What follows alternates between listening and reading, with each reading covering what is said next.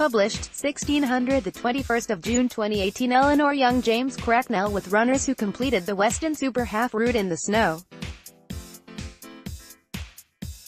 Picture, James Cracknell James Cracknell Weston Super Half will not take place this year, after the inaugural event was called off for bad weather. The half marathon was due to take place in March but was unexpectedly snowed off. However, organizers have confirmed it will be making a return.